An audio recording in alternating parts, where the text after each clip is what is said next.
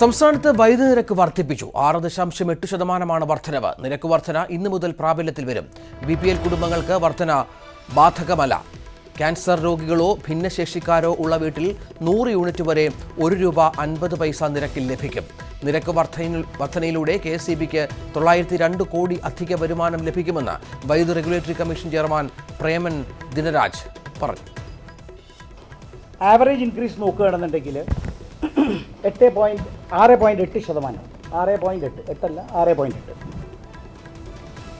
ഇതിൽ നിന്നും K C ബിക്ക് ഈ പുര ഒരു ഫുൾ ഇയറിന് വേണ്ടിയിട്ടുള്ള കൂടുതൽ വരുമാനം തൊള്ളായിരത്തി രണ്ട് കോടിയാണ് ബി പി എൽ ഫാമിലീസിന് ടരിഫിൽ ഇൻക്രീസ് ഇല്ല. അവിടെ ഒരു ക്യാൻസർ പേഷ്യന്റോ അല്ലെങ്കിൽ പെർമനന്റ്ലി ഡിസേബിൾഡ് ആയിട്ടുള്ള ഇതുണ്ടോ അല്ലെങ്കിൽ പോളിയോ ബാധിച്ച് അല്ലെങ്കിൽ ആക്സിഡന്റിൽ പെർമനന്റ് ആയിട്ട് ഡിസേബിൾ ചെയ്ത ആൾക്കാരാണെങ്കിൽ നൂറ് യൂണിറ്റ് വരെ ഒരു പ്രതിമാസം ഒരു രൂപ അൻപത് പൈസ നിരക്കിൽ ലഭ്യമാവും.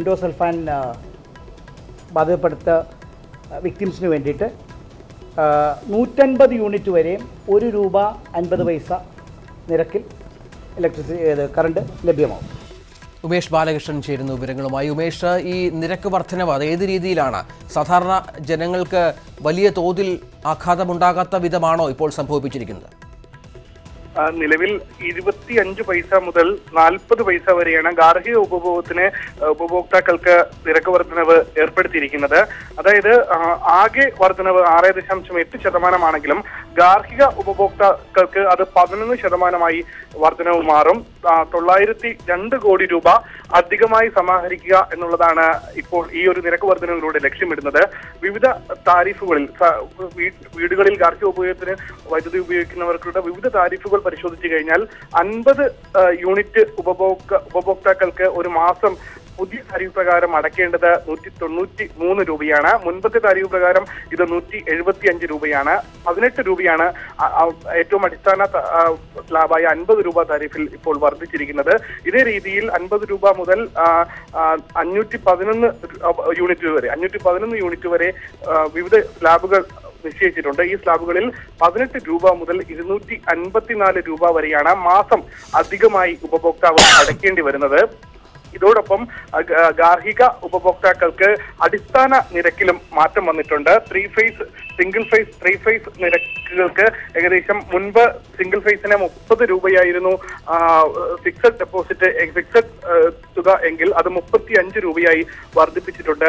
ത്രീ ഫേസിന് എൺപത് രൂപ എന്നുള്ളത് തൊണ്ണൂറ് രൂപയായി വർദ്ധിപ്പിച്ചിട്ടുണ്ട്.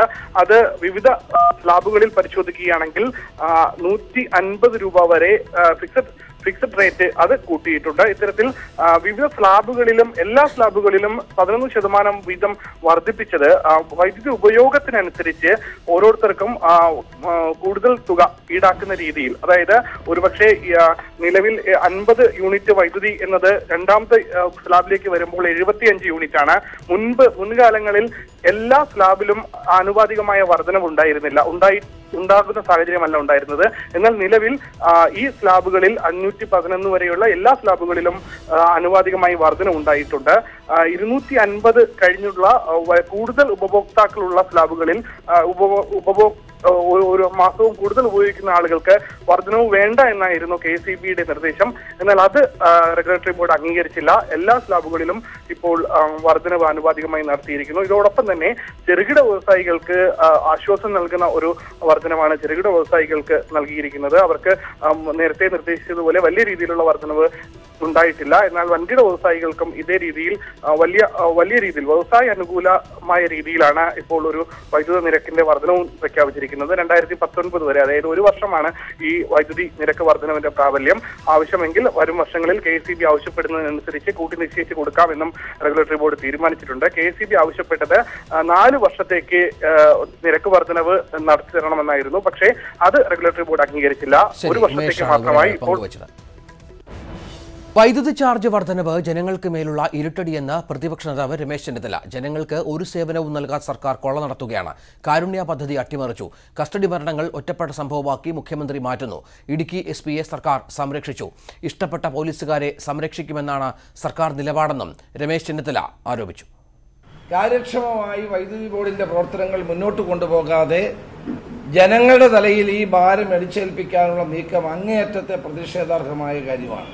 സംസ്ഥാനത്തെ ജനങ്ങൾക്ക് ഒരിക്കലും അംഗീകരിക്കാൻ കഴിയാത്തൊരു നിരക്ക് വർധനവാണ് ഇവിടെ ഉണ്ടായിരിക്കുന്നത്. കേരളത്തിലെ ജനങ്ങളെ കൂടുതൽ കൂടുതൽ ചൂഷണം ചെയ്യുന്ന നടപടിയാണ് ഗവൺമെന്റ് ഭാഗത്ത് ഉണ്ടാകുന്നത്. അധിക നികുതി ഭാരം പല രീതിയിൽ അടിച്ചേൽപ്പിക്കുകയാണ്. കർണാടകയിൽ പ്രതിസന്ധി രൂക്ഷം. വിമതർക്ക് മന്ത്രിസ്ഥാനം നൽകി അനുനയിപ്പിക്കാനുള്ള ശ്രമത്തിന്റെ ഭാഗമായി കർണാടകയിലെ എല്ലാ കോൺഗ്രസ് മന്ത്രിമാരും രാജിവെച്ചു. വിമത എം എൽ എമാരെ മന്ത്രിമാരാക്കി സമ്പൂർണ പുനഃസംഘടനയ്ക്കാണ് കോൺഗ്രസിന്റെ തീരുമാനം. എന്നാൽ കർണാടക സർക്കാരിന്റെ നില കൂടുതൽ അപകടത്തിലാക്കി മന്ത്രി എച്ച് നാഗേഷ് മന്ത്രിപദം രാജിവെച്ചു. താൻ ഇനി ബി ജെ പിയെ പിന്തുണയ്ക്കുമെന്ന് നാഗേഷ് രാജിക്കത്തിൽ പറഞ്ഞു.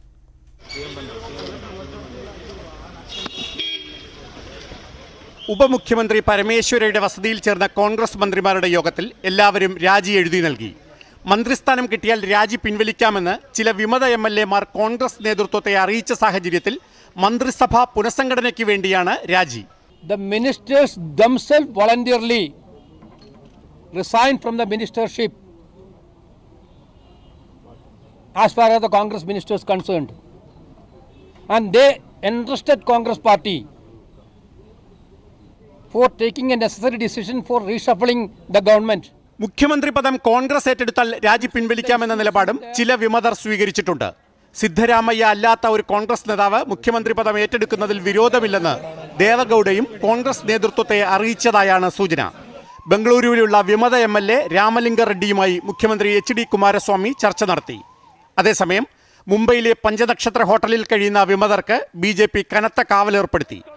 പ്രതിപക്ഷ സർക്കാരുകളെ വീഴ്ത്താൻ മോദി സർക്കാർ പണമൊഴുക്കി കളിക്കുകയാണെന്ന ആരോപണം കോൺഗ്രസ് പാർലമെന്റിൽ ഉന്നയിച്ചു വിഷയത്തിൽ അടിയന്തര പ്രമേയം അനുവദിക്കാത്തതിൽ കോൺഗ്രസ് അംഗങ്ങൾ പ്രതിഷേധിച്ചു मुंबई में ये कि ये सरकार ये सरकार ये कहते हैं कि हम लोकतंत्र को मानते हैं लेकिन ये लोकतंत्र को धजिया उड़ा रहे हैं लोकतंत्र की धजिया उड़ा रहे हैं കർണാടക പ്രതിസന്ധിയിൽ ബി ജെ പിക്ക് പങ്കില്ലെന്നും കോൺഗ്രസിലെയും ജെ ഡി എസിലെയും പടലപ്പിണക്കമാണ് യഥാർത്ഥ കാരണമെന്നും ബി ജെ പിയുടെ മറുപടി कर्नाटक का कर्नाटक में इस समय जो कुछ भी हो रहा है उससे हम, हमारी हम, हमारी हमारी पार्टी का कोई लेना देना नहीं है കർണാടകയിലെ സ്വതന്ത്ര എം എൽ എയും ചെറുകിട വ്യവസായ മന്ത്രിയുമായ എച്ച് നാഗേഷ് മന്ത്രിപദം രാജിവെച്ചു ഇനി ബി ജെ പിയെ പിന്തുണയ്ക്കുമെന്നും നാഗേഷ് പ്രഖ്യാപിച്ചു ഇതോടെ ഇരുന്നൂറ്റി ഇരുപത്തിനാലംഗ കർണാടക നിയമസഭയിൽ ബി ജെ പിക്ക് നൂറ്റിയാറ് അംഗങ്ങളുടെ പിന്തുണയായി പതിമൂന്ന് എം എൽ എമാരും രാജിയിൽ ഉറച്ചുനിന്നാൽ സർക്കാർ വീഴും എന്നാൽ ഏഴ് എം എൽ എമാർ ഇന്ന് വൈകുന്നേരത്തോടെ രാജി പിൻവലിക്കുമെന്ന് മന്ത്രി Sameer Ahmed Khan.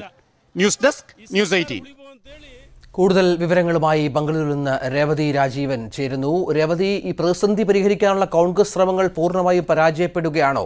എന്താണ് ഏറ്റവും പുതിയ നീക്കങ്ങൾ കർണാടകയിലെ? പതിനാല് എം എൽ എമാർ രാജിവെച്ച സ്ഥിതിക്ക് പ്രതിസന്ധി പ്രതിസന്ധി രൂക്ഷമായിരിക്കുകയാണ്. ഈ ഒരു സാഹചര്യത്തിൽ മന്ത്രിസ്ഥാനത്തുള്ളവർ അത് മന്ത്രിസ്ഥാനം രാജിവെച്ച് രാജിക്കത്ത് നൽകിയ എം എൽ എമാർക്ക് മന്ത്രിസ്ഥാനം നൽകുക എന്നൊരു തീരുമാനമാണ് കോൺഗ്രസ് ജെ ഡി എസ് പാർട്ടികൾ ഇപ്പോൾ എടുത്തിരിക്കുന്നത്. രണ്ട് ദിവസത്തെ ചർച്ചകൾക്ക് ശേഷമാണ് ഈ ഒരു തീരുമാനമെടുത്തത്. പതിമൂന്ന് എം എൽ എമാർ ഇന്നലത്തെ ഇന്നലെയോടുകൂടി രാജിവെച്ചിരുന്നു. ഇന്ന് സ്വതന്ത്ര എം എൽ എ ആയ എച്ച് നാഗേഷും കൂടി രാജിവെച്ചതുകൂടി total number of M L As രാജിവെച്ച total number of M L As പതിനാലായിരിക്കുകയാണ് പതിനഞ്ച് എം എൽ എമാർ രാജിവെച്ച് ഈ രാജികളെല്ലാം സ്പീക്കർ അംഗീകരിച്ചാൽ സർക്കാർ വീഴും എന്നുള്ള അവസ്ഥയിൽ വന്നപ്പോഴാണ് കോൺഗ്രസ് ജെ ഡി എസ് പക്ഷം കോൺഗ്രസ് ജെ ഡി എസ് പാർട്ടികൾ ഈ ഒരു തീരുമാനമെടുത്തത്. ഇപ്പോൾ മന്ത്രിസഭയിൽ നിന്ന് പലരും രാജിവെച്ച് രാജിവെച്ച് വെളിയിലേക്ക് മുംബൈയിലേക്ക് കടന്ന് എം എൽ എമാർക്ക് ഈ രാജസ്ഥാനം ഈ- മന്ത്രിസ്ഥാനം നൽകാനുള്ള തീരുമാനമാണ് ഇപ്പോഴത്തെ പാർട്ടിയുടെ തീരുമാനം. രാജിവെച്ച എം എൽ എമാർക്ക് ഉണ്ടായിരുന്ന പരിഭവവും ഇത് തന്നെയാണ്. പല എം എൽ എമാരും പറഞ്ഞിരുന്നത് അവർ വളരെ മുതിർന്ന നേതാക്കളാണ് പാർട്ടിയിൽ എങ്കിൽ കൂടി അവർക്ക് മന്ത്രിസ്ഥാനം നൽകിയില്ല. അവരെ പാർട്ടിയിൽ അവഗണിച്ചു എന്നീ കാരണങ്ങൾ പറഞ്ഞുകൊണ്ടാണ് ഈ എം എൽ എമാർ രാജിവെച്ചിരുന്നത്. അതുകൊണ്ട് തന്നെ മുംബൈയിലേക്ക് പറന്ന എം എൽ എമാരുമായിട്ട് ചർച്ച നടത്താനുള്ള ശ്രമങ്ങളും ഇപ്പോൾ നടന്നുകൊണ്ടിരിക്കുകയാണ് അവർ തിരിച്ചു വരുമെന്നും അവർക്ക് മന്ത്രിസ്ഥാനം നൽകിയാൽ ഈ ഒരു പ്രതിസന്ധിയെ മറികടക്കാമെന്ന പ്രതീക്ഷയിലാണ് കോൺഗ്രസ് ജെ ഡി എസ് പാർട്ടികൾ ഇപ്പോൾ ഉള്ളത് എന്നാൽ കർണാടകയിൽ നിന്നും പങ്കുവച്ചത് കർണാടകയിലെ പ്രതിസന്ധി എത്രയും വേഗം പരിഹരിക്കുമെന്ന് മുഖ്യമന്ത്രി എച്ച് ഡി കുമാരസ്വാമി ഇതാദ്യമായാണ് പ്രതിസന്ധിയിൽ കുമാരസ്വാമി പ്രതികരിക്കുന്നത് Sir, is everything okay with the political crisis? That, that issue will solve it, don't worry. Government will run smoothly. It will run, it will run. കാക്കിയിലെ കാട്ടാളത്തം. നെടുങ്കണ്ടം കസ്റ്റഡി കൊലപാതകത്തിൽ ഒളിവിലായിരുന്ന രണ്ട് പോലീസുകാർ കൂടി കസ്റ്റഡിയിൽ. A S I Rejimon police driver Niyas എന്നിവരാണ് പിടിയിലായത്. രാജ്കുമാറിന്റെ പോസ്റ്റ്മോർട്ടത്തിൽ പിഴവ് സംഭവിച്ചിട്ടില്ലെന്ന് പോസ്റ്റ്മോർട്ടം നടത്തിയ ഡോക്ടർ അറിയിച്ചു. എ എസ് ഐ റെജിമോനും ഡ്രൈവർ നിയാസും പിടിയിലായതോടെ രാജ്കുമാറിന്റെ മരണത്തിൽ പ്രതിയേർക്കപ്പെട്ട നാലുപേരും പോലീസിന്റെ കയ്യിലായി. കസ്റ്റഡിയിലുള്ള S I Rejimon driver Niyas എന്നിവരെ ചോദ്യം ചെയ്യുകയാണ്. ഇവർക്കെതിരെയും കൊലക്കുറ്റം ചുമത്തും. നേരത്തെ അറസ്റ്റിലായ S I Sabu civil police officer Sajeev Antony എന്നിവർ റിമാൻഡിലാണ്. ഇവരെ കസ്റ്റഡിയിൽ വാങ്ങാൻ ഇന്ന് അപേക്ഷ നൽകാൻ തീരുമാനിച്ചെങ്കിലും മജിസ്ട്രേറ്റ് അവധിയായതിനാൽ നടപടിയെടുക്കാനായില്ല. ഇതിനിടെയാണ് രാജ്കുമാറിന്റെ പോസ്റ്റ്മോർട്ടം റിപ്പോർട്ടിൽ പിഴവില്ലെന്ന് പോസ്റ്റ്മോർട്ടം നടത്തിയ പി ഡോക്ടർ അറിയിച്ചത്. ശരീരത്തിലെ പരിക്കുകളുടെ പഴക്കവും ആഴവും പരിശോധിച്ചിട്ടുണ്ട്. റിപ്പോർട്ട് തയ്യാറാക്കിയപ്പോൾ ടൈപ്പ് ചെയ്തയാൾ ഒരു വരി വിട്ടുപോയതാണെന്നും ഡോക്ടർ ന്യൂസ് എയ്റ്റീനോട് പറഞ്ഞു. ഞങ്ങൾക്കൊരു ഫയലുണ്ട്. ആ ഫയൽ നമ്മൾ നോർമലി ഡീറ്റെയിൽസ് എല്ലാം എഴുതി കൊടുക്കുന്നതാണ്. അപ്പൊ ടൈപ്പിസ്റ്റുകളാണ് ടൈപ്പ് ചെയ്ത് കൊടുക്കുന്നത്. അപ്പൊ ടൈപ്പിസ്റ്റ് ടൈപ്പ് ചെയ്തപ്പോഴത്തേക്ക് ആ ലൈൻ വിട്ടുപോയി. ഓൾറെഡി നമ്മൾ നോട്ടിഫിക്കേഷൻ ആയിട്ട് കോർട്ടിൽ അയച്ചിട്ടുണ്ട് എന്റെ പേപ്പർ. അത് അന്നേരം തന്നെ അതിന്റെ അടുത്ത് തൊട്ട് സർട്ടിഫിക്കറ്റ് പോയതിന്റെ കൂടെ തന്നെ ഈ നോട്ടിഫിക്കേഷനും പോയിട്ടുണ്ട്. ക്ലറിക്കൽ മിസ്റ്റേക്ക് ആണ്. നമ്മൾ ഓൾറെഡി എല്ലാം കറക്റ്റ് അയച്ചത്. അന്നേരം തന്നെ അന്നേരം തന്നെ വിടുകയും ചെയ്തത്. കോട്ടയം ഫോറൻസിക് വിഭാഗത്തിലായിരുന്നു രാജ്കുമാറിന്റെ postmortem assistant professor James Kutty റിപ്പോർട്ടിൽ തിരുത്തിൽ വരുത്തി പുതിയ റിപ്പോർട്ട് അന്വേഷണ സംഘത്തിന് കൈമാറിയെന്ന ആക്ഷേപമുണ്ടായിരുന്നു വനിതാ പോലീസ് ഉദ്യോഗസ്ഥയെ ഉൾപ്പെടെയുള്ളവരെ കേസിൽ പുതുതായി പ്രതികർക്കാനാണ് അന്വേഷണ സംഘം ആലോചിക്കുന്നത്. റിമാൻഡിൽ ഉള്ളവരെയും കസ്റ്റഡിയിലായവരെയും വിശദമായി ചോദ്യം ചെയ്ത ശേഷമാകും മറ്റു നടപടികളിലേക്ക് അന്വേഷണ സംഘം കടക്കുക. News eighteen Idukki. Nedumkandam custody മരണക്കേസിൽ ഉന്നത പോലീസ് ഉദ്യോഗസ്ഥരെ രക്ഷിക്കാനുള്ള നീക്കമാണ് നടക്കുന്നതെന്ന് സി പി ഐ. ഇടുക്കി ജില്ലാ സെക്രട്ടറി കെ കെ ശിവരാമനാണ് ഇക്കാര്യം ആരോപിച്ചത്. എസ് പി കെ ബി വേണുഗോപാലിനെ സസ്പെൻഡ് ചെയ്ത് കൊലക്കുറ്റത്തിന് കേസെടുത്ത് അന്വേഷണം നടത്തണമെന്ന ആവശ്യമുന്നയിച്ച സി പി ഐ നാളെ നെടുങ്കണ്ടം പോലീസ് സ്റ്റേഷൻ മാർച്ച് നടത്തുമെന്നും കെ കെ ശിവരാമൻ ന്യൂസ് എയ്റ്റീനോട് പറഞ്ഞു. അതുകൊണ്ട് ഉന്നതന്മാരെ രക്ഷിച്ച് താഴെയുള്ള ചില ഉദ്യോഗസ്ഥന്മാരെ മാത്രം കുറ്റവാളികളാക്കി മാറ്റാനുള്ള ഒരു അന്വേഷണമാണെങ്കിൽ ആ അന്വേഷണത്തോട് സി പി ഐക്ക് യാതൊരു യോജിപ്പുമില്ല. ഇതിലാദ്യം പുറത്തു വരേണ്ടത് എസ് പിയുടെ പങ്കാണ് ഡിവൈഎസ്പിയുടെ പങ്കാണ് മുകളിൽ നിന്നാണ് ആരംഭിക്കേണ്ടത്. അതുകൊണ്ട് അത്തരത്തിൽ അന്വേഷണത്തിന് ദിശ തിരിച്ചുവിടണം എന്ന് തന്നെയാണ് സി പി ഐയുടെ അഭിപ്രായം. അതുകൊണ്ട് എസ് പി അടക്കമുള്ള ഉന്നതന്മാരെ സർവീസിൽ സസ്പെൻഡ് ചെയ്ത് കൊലക്കുറ്റത്തിന് കേസെടുത്ത് അന്വേഷണം മുമ്പോട്ട് പോകണമെന്നാണ് പാർട്ടി ആവശ്യപ്പെടുന്നത്. ഈ ആവശ്യം ഉന്നയിച്ചുകൊണ്ട് നെടുങ്കണ്ടം പോലീസ് സ്റ്റേഷനിലേക്ക് നാളെ മാർച്ച് നടക്കും. തുടർന്നുള്ള പ്രക്ഷോഭ പരിപാടികൾക്ക് പിന്നീട് രൂപം നൽകും. ലൈംഗിക പീഡന കേസിൽ മുംബൈ പോലീസ് ബിനോയ് കോടിയേരിയുടെ ഡി എൻ എ പരിശോധന നടത്തും. രക്തസാമ്പിളുകൾ നൽകാൻ പോലീസ് ബിനോയ് കോടിയേരിയോട് നിർദ്ദേശിച്ചു. ഡി എൻ എ പരിശോധനയ്ക്ക് തയ്യാറാണെന്ന് ബിനോയും അന്വേഷണ സംഘത്തെ അറിയിച്ചു. ദിൻഡോഷ സെഷൻസ് കോടതിയുടെ നിബന്ധന പ്രകാരമാണ് അന്വേഷണ ഉദ്യോഗസ്ഥന് മുമ്പിൽ ബിനോയ് കോടിയേരി ഇന്ന് ഹാജരായത്. ഉച്ചയ്ക്ക് പന്ത്രണ്ട് മുപ്പതോടെ ഓഷിവാര പോലീസ് സ്റ്റേഷനിൽ എത്തിയ ബിനോയിയെ പോലീസ് അരമണിക്കൂർ ചോദ്യം ചെയ്തു. കേസിൽ ഡി എൻ എ പരിശോധന അനിവാര്യമാണെന്ന് പോലീസ് ബിനോയിയെ അറിയിച്ചു. ബിനോയ് പരിശോധനയ്ക്ക് സമ്മതിച്ചുവെന്നും അടുത്ത തവണ കൂടുതൽ വിശദമായി ചോദ്യം ചെയ്യുമെന്നും അന്വേഷണ ഉദ്യോഗസ്ഥൻ ഇൻസ്പെക്ടർ ശൈലേഷ് പസൽവാർ പറഞ്ഞു. അന്വേഷണ സംഘത്തോട് ബിനോയ് പൂർണമായും സഹകരിക്കുന്നുണ്ട്. അതേസമയം യുവതിയുടെ രഹസ്യമൊഴി വനിതാ മജിസ്ട്രേറ്റ് അടുത്തയാഴ്ച രേഖപ്പെടുത്തും. ഒരു മാസത്തേക്ക് എല്ലാ തിങ്കളാഴ്ചയും രാവിലെ പത്തിനും ഉച്ചയ്ക്ക് ഒരു മണിക്കും ഇടയിൽ അന്വേഷണ ഉദ്യോഗസ്ഥന് മുന്നിൽ ഹാജരാകണമെന്ന വ്യവസ്ഥയിലാണ് നേരത്തെ ദിൻഡോഷി സെഷൻസ് കോടതി ബിനോയിക്ക് ജാമ്യം അനുവദിച്ചത്. അന്വേഷണ ഉദ്യോഗസ്ഥൻ ആവശ്യപ്പെട്ടാൽ ഡി എൻ എ പരിശോധനയ്ക്ക് രക്തസാമ്പിളുകൾ നൽകണമെന്നും കോടതി നിർദ്ദേശിച്ചിരുന്നു. News eighteen Delhi. Kochi Nechoor saint Thomas പള്ളിയിൽ യാക്കോബായ വിഭാഗത്തിന്റെ പ്രതിഷേധം. മൃതദേഹം അടക്കാനുള്ള ശ്രമത്തിനെതിരെ ഓർത്തഡോക്സ് വിഭാഗം രംഗത്തെത്തിയതാണ് പ്രതിഷേധത്തിന് ഇടയാക്കിയത് തുടർന്ന് മൃതദേഹം യാക്കോബായ വിഭാഗത്തിന്റെ അധീനതയിലുള്ള ചാപ്പലിന് സമീപം അടക്കി. എൻ ശ്രീനാഥ് ചേരുന്നു. ശ്രീനാഥ് എന്താണ് സംഭവിച്ചത്? നെച്ചൂർ സ്വദേശി ജോയി തോമസ് മരിച്ചതിനെ തുടർന്ന് നെച്ചൂർ സെന്റ് തോമസ് ദേവാലയത്തിൽ അടക്കം ചെയ്യണമെന്ന് യാക്കോബായ വിശ്വാസികൾ ആവശ്യപ്പെട്ടു. എന്നാൽ സുപ്രീം കോടതി വിധിയെ തുടർന്ന് ഈ പള്ളി ഇപ്പോൾ ഓർത്തഡോക്സ് വിഭാഗത്തിന്റെ അധീനതയിലാണ്. ഇവിടെ അടക്കം ചെയ്യുകയാണെങ്കിൽ സംസ്കാര ശുശ്രൂഷകൾ നടത്താൻ യാക്കോബായ പുരോഹിതരെ അനുവദിക്കില്ല എന്നായിരുന്നു ഓർത്തഡോക്സ് വിഭാഗത്തിന്റെ നിലപാട്. തുടർന്ന് ഇരുപക്ഷവും നിലപാടുകൾ ഉറച്ചു നിന്നതോടുകൂടി മൂവാറ്റുപുഴ കളക്ടറുടെയും പോലീസിന്റെയും സാന്നിധ്യത്തിൽ ഇരുപക്ഷവുമായി ചർച്ച നടത്തി. എന്നാൽ ചർച്ചയിൽ ഇരുപക്ഷവും നിലപാട് മയപ്പെടുത്താൻ തയ്യാറായില്ല. തുടർന്ന് യാക്കോബായ ചാപ്പലിൽ ശുശ്രൂഷ നടത്തിയ ശേഷം മൃതദേഹവുമായി ഓർത്തഡോക്സ് പള്ളിയിലേക്ക് യാക്കോബായ വിഭാഗം വന്നു. എന്നാൽ പള്ളി ഗേറ്റ് അടച്ചിട്ടുകൊണ്ട് മറുപക്ഷം ഇതിനെ തടഞ്ഞു. തുടർന്ന് മൃതദേഹവുമായി തിരികെ പോയ യാക്കോബായ പക്ഷം ചാപ്പലിന് സമീപം മൃതദേഹം കുഴിയെടുത്ത് സംസ്കരിക്കുകയായിരുന്നു. ശരി ശ്രീനാഥ്. കാരുണ്യ പോയപ്പോൾ കരുണയും അറ്റു. പാവപ്പെട്ടവർക്കുള്ള ചികിത്സാ പദ്ധതിയായ കാരുണ്യ പദ്ധതി നിർത്തലാക്കിയതോടെ സംസ്ഥാനത്തെ ക്യാൻസർ ചികിത്സ താളം തെറ്റി. കാരുണ്യ പദ്ധതിയിലെ രണ്ടു ലക്ഷം രൂപ ഇല്ലാതായതിനു പുറമെ ആരോഗ്യ ഇൻഷുറൻസ് പദ്ധതി താളം തെറ്റിയത് രോഗികൾക്ക് ഇരുട്ടടിയായി. കേന്ദ്ര സർക്കാർ സ്ഥാപനമായ ശ്രീചിത്ര ഇൻസ്റ്റിറ്റ്യൂട്ട് ഇൻഷുറൻസ് പദ്ധതിയുടെ ഭാഗമല്ലാത്തത് നിരവധി രോഗികളെയാണ് ദുരിതത്തിലാക്കുന്നത്. എല്ലാവർക്കും ഒരു നേരത്തെ ഭക്ഷണത്തിന് വേണ്ടിയിട്ട് പാവപ്പെട്ട രോഗികളെ മുമ്പിൽ കൈ നീട്ടേണ്ട ഒരു അവസ്ഥയിലേക്ക് വന്ന് ഇതാരെ കൊണ്ടുവരുമെന്ന് ഇവിടുത്തെ സർക്കാരിന് കൊണ്ടുവന്ന് ഈ സർക്കാരിന് കുറ്റം ഞാൻ പറയില്ല. ഒരു സർക്കാരിന് കുറ്റം പറയില്ല. പക്ഷേ ആ ചികിത്സാ പദ്ധതി നടപ്പാക്കുക മാത്രമേ ആർ സി സിയിൽ തുടർ ചികിത്സയ്ക്കെത്തിയ പാലക്കാട് സ്വദേശിയാണിത്. ഇദ്ദേഹത്തെ പോലെ നിരവധി പേരാണ് പണമില്ലാതെ വലയുന്നത്. തിരുവനന്തപുരം ശ്രീചിത്രയിലെ രോഗികളുടെ അവസ്ഥയും ഇതുതന്നെ. നാഡീവ്യൂഹത്തിന്റെ പ്രവർത്തനം നിലയ്ക്കുന്ന അപൂർവ രോഗം ബാധിച്ച പത്തനംതിട്ട സ്വദേശി ബിജുവിനെ ആറ് ദിവസം മുൻപാണ് ഇവിടെ എത്തിച്ചത്. ഇതുവരെ ഒന്നര ലക്ഷം രൂപ ചെലവായി. ഉടൻ ഒരു ലക്ഷം രൂപ കൂടി അടയ്ക്കാനാണ് നിർദ്ദേശം. വന്ന ദിവസം തൊട്ട് തന്നെ ഞങ്ങളെല്ലാം ബില്ല് പേ ചെയ്ത് തന്നെ ചികിത്സ തുടരേണ്ട അവസ്ഥയാണ്. കാരണം ഇവിടെ ഇപ്പോൾ കാർഡും എടുക്കുന്നില്ല. കാരുണ്യയുടെ ഫണ്ടും ഇല്ല. ഇതൊന്നും ഇല്ലെന്നാണ് പറയുന്നത്.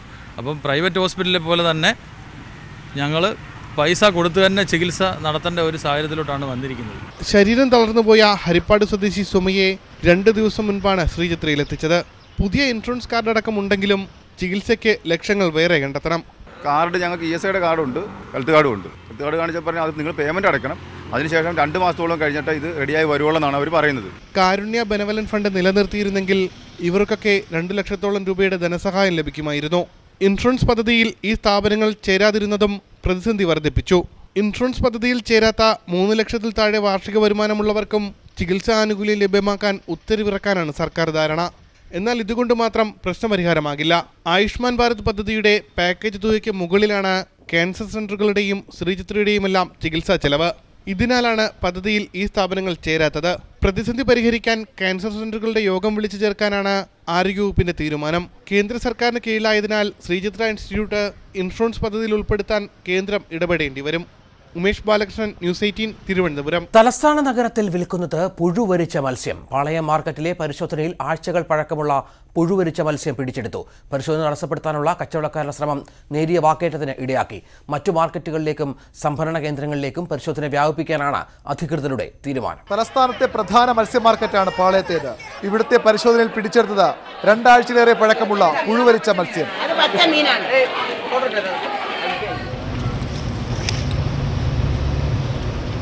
പഴക്കം ചെന്ന മീൻ നമുക്ക് കണ്ടെത്താൻ കഴിഞ്ഞു. ആയത് ഉടനെ തന്നെ നഗരസഭാ അധികൃതരുടെ സഹായം ഉള്ളതുകൊണ്ട് നമുക്ക് നശിപ്പിക്കാനായിട്ട് ബ്ലീച്ചിങ് പൗഡർ ഇട്ട് മാറ്റുകയും ചെയ്തു.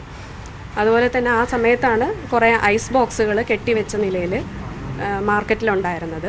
അപ്പോൾ അത് അവിടുത്തെ തൊഴിലാളികൾ തന്നെ നമുക്ക് തുറന്നു തരികയും പരിശോധിച്ചപ്പോൾ പുഴുവരിച്ച നിലയിലാണ് മീനുകൾ ഉണ്ടായിരുന്നത്. അതുപോലെ തന്നെ പഴക്കം കാലപ്പഴക്കം നോട്ടത്തിൽ നിന്ന് തന്നെ മനസ്സിലാക്കാൻ പറ്റുന്നു. മത്സ്യ മാർക്കറ്റുകളിലെയും സംഭരണ കേന്ദ്രങ്ങളിലെയും പരിശോധന തുടരുമെന്ന് മേയർ വി കെ പ്രശാന്ത്. അപ്പോൾ ഒരു കാരണവശാലും കീടനാശിനികളും അതുപോലെ തന്നെ പഴകിയ ഭക്ഷണവും വെക്കുന്ന നിലയിലുള്ള യാതൊരു സംവിധാനവും അനുവദിക്കാൻ വേണ്ടി പോകുന്നില്ല. അതിനാവശ്യമായിട്ടുള്ള തുടർച്ചയായിട്ടുള്ള റെയ്ഡുകൾ നഗരസഭ ആലോചിച്ചിട്ടുണ്ട്. അത് വരും ദിവസങ്ങളിൽ ശക്തമായി തന്നെ നടപ്പാക്കാനാണ് നഗരസഭ തിരുവനന്തപുരം നഗരസഭ ഭക്ഷ്യസുരക്ഷ ഫിഷറീസ് വകുപ്പുകൾ സംയുക്തമായാണ് പാളയം മാർക്കറ്റിൽ പരിശോധന നടത്തിയത്. മത്സ്യത്തിൽ രാസവസ്തുക്കൾ കലർത്തിയിട്ടുണ്ടോ എന്നും പരിശോധിക്കും.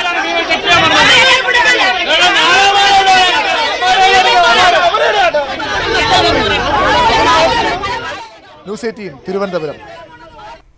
C O T നസീറിനെ വധിക്കാൻ ശ്രമിച്ച കേസിലെ മുഖ്യ ആസൂത്രകരിൽ ഒരാൾ കൂടി കീഴടങ്ങി സി പി എം പ്രവർത്തകൻ കാവുഭാഗം സ്വദേശി C മിഥുനാണ് Thalassery judicial first class magistrate കോടതിയിൽ കീഴടങ്ങിയത്. പ്രതിയെ രണ്ടാഴ്ചത്തേക്ക് റിമാൻഡ് ചെയ്തു. പ്രതിയുടെ മുൻകൂർ ജാമ്യാപേക്ഷ നേരത്തെ കോടതി തള്ളിയിരുന്നു. ആന്തൂർ വിഷയം ചർച്ച ചെയ്യാനായി ഇന്ന് ചേരാൻ തീരുമാനിച്ചിരുന്ന സി പി എം കണ്ണൂർ ജില്ലാ കമ്മിറ്റി യോഗം മാറ്റിവെച്ചു. സംസ്ഥാന സെക്രട്ടറി കോടിയേരി ബാലകൃഷ്ണന്റെ അസൗകര്യത്തുടർന്നാണ് യോഗം മാറ്റിവെച്ചത്. പുതിയ തീയതി പ്രഖ്യാപിച്ചിട്ടില്ല. നഗരസഭാധ്യക്ഷ പി കെ ശ്യാമളയ്ക്ക് തെറ്റുപറ്റിയിട്ടില്ലെന്ന സംസ്ഥാന കമ്മിറ്റി തീരുമാനം റിപ്പോർട്ട് ചെയ്യാനാണ് ഇന്ന് ജില്ലാ കമ്മിറ്റി നിശ്ചയിച്ചിരുന്നത്. വാർത്താ ബുള്ളറ്റിൻ പൂർണമാവുകയാണ്. നമസ്കാരം.